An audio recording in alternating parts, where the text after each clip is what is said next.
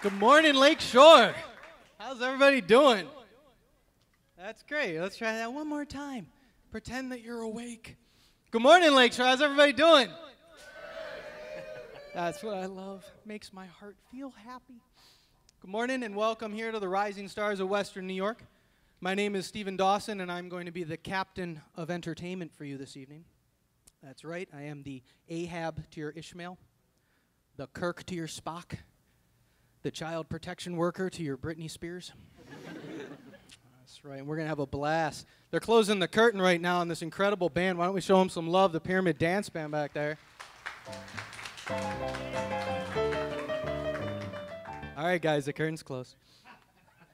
But uh, when I first heard that I was going to be performing with the Pyramid Dance Band, I obviously assumed that it was going to be a band of crime fighting cheerleaders. Of course, it turned out that I'm performing with the band that actually played at the building of the pyramids. now, I'm not trying to suggest that they're old, but if you're looking for their CD, I suggest looking in the Dinosaur Rock Bin, which is reserved for bands that actually used to throw rocks at dinosaurs. yeah, oh, come on, that was funny. People love dinosaurs too much. Don't make fun of dinosaurs. My cousin was a dinosaur. no, he wasn't. Get over it. Yeah, but they're going to be here all night, which for them is until Wheel of Fortune is over. Uh, we're going to have a wonderful, wonderful time. You know, it's great to be back here in Lakeshore, especially on such a, a, a great event. You know, I've been uh, out of town for a couple of years, and coming back into town was an interesting experience because I started to really notice all the names on the signs of the businesses in Derby on my way up here. You know, I drove by uh, Militello Tires, Pasquale's Pizza, Catalano Motors. It's an awful lot of Italians.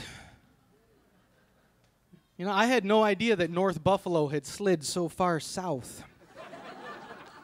I actually heard that they're thinking of moving the Italian festival to Route 5. That'll be fun. And instead of the Walmart, they actually want to put in a giant uh, bakery. That'll be tasty. But I, I told you guys I've, uh, I've been out of town. I've actually been living in New York City for the past couple of years. And New York City's a great city, you know, but it's a strange city, you know hardly anybody who lives there is actually from the city. So inevitably, every time you meet someone new, they ask you, Where are you from originally? And for the first couple years, I would tell people, I'm from Derby. To which they generally respond, Is that in Kentucky? I'd say, Yeah. Once a year, it's in Kentucky. The rest of the year, we live in roller rinks. Moron. So after a couple of years of trying to explain that there could be a place called Evangola, I just started telling people I was from Buffalo. to which they would respond, Buffalo, oh, snow. yeah, we have snow there. Huh, big surprise. I try to educate people, though. You know, I try to tell them it's not as bad as it looks on the Weather Channel. We just know that at least once a year, our sidewalks are going to be shoveled by the National Guard. But I tend to get I tend to get really defensive about my hometown, you know. So I, I instantly ask them back. I say, "All right, well, where are you from originally?" "Oh, I'm from Arkansas." "Oh, inbred." that and you gave us the Clintons. Thanks for that moron. but uh, living in New York was interesting, especially after 9 11, because the whole city kind of changed. You know, there was this, this kind of feeling of brotherhood and this spirit of kinship that was very mm, un New York. Yeah. It had gotten to the point where people were smiling at each other. People would open the cab door for you. Oh, by all means, you're in a rush. I even once saw a gang member have his picture taken with a New York police officer in Times Square. It was like bizarro Manhattan. But the other day I was actually in Times Square and I saw this taxi cab come spinning around a corner and nearly kill this construction worker. And the construction worker jumped up back on his feet. He started screaming very inappropriate things at the cab driver. And then he showed him where Mr. Tallman was. And the cab driver leaned out, and in a language I know wasn't English, but I think was inappropriate, He showed his Mr. Tall Man to the cab driver. And then their eyes met. And I saw a tear form in the construction worker's eye, and a tear form in the cab driver's eye, and everything in Times Square just stopped. Because we all realized in that moment that our city was healing. It's a day at a time, one mugging one day at a time. But uh, I don't know if it was like this in Buffalo, but in New York City this winter, w- the weather was insane. Was it like that here? Just crazy. I mean, in the middle of December, it was so hot that I was able to go to the beach. But then the very next day, it was so cold that everywhere I went, Morgan Freeman was narrating my journey. like I was a penguin. But I'll tell you, the weather has turned me into a believer. When it comes to global warming, I now believe. Not just a believer, I'm a fan. I like everything about global warming. So much so that I'm starting to save my pennies to buy a Humvee. I just recently switched back to aerosol hairspray. and last week I challenged Al Gore to a fistfight. That's right, I plan to give him an inconvenient uppercut.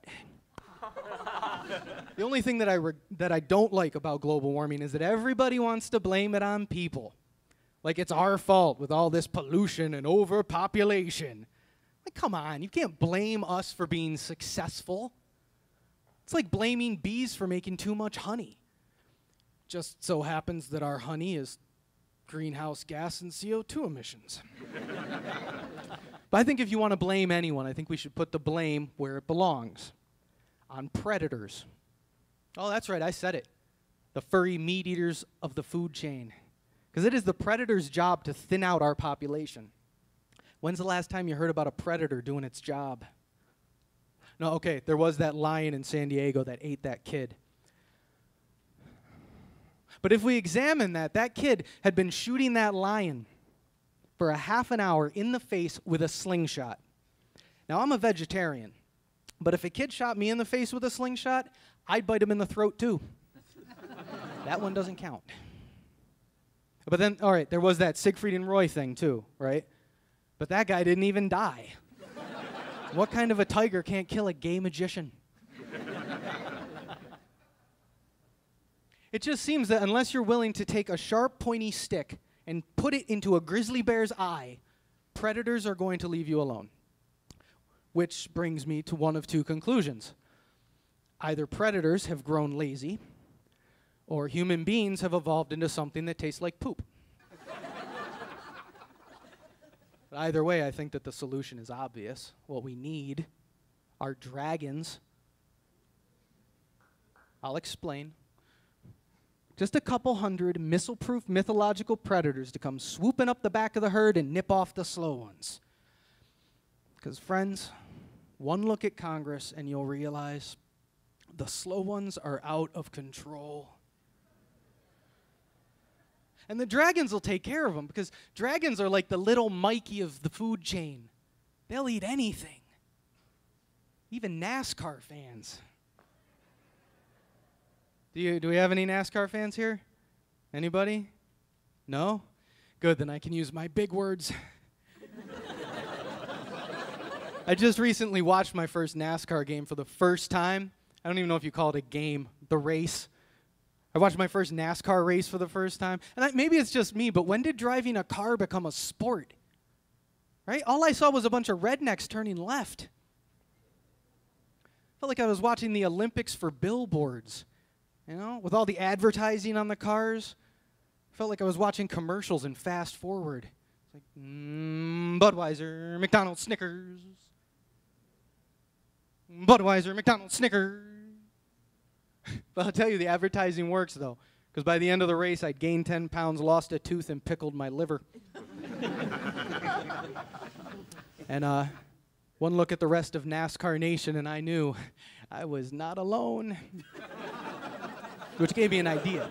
What I think that NASCAR needs are public service announcement cars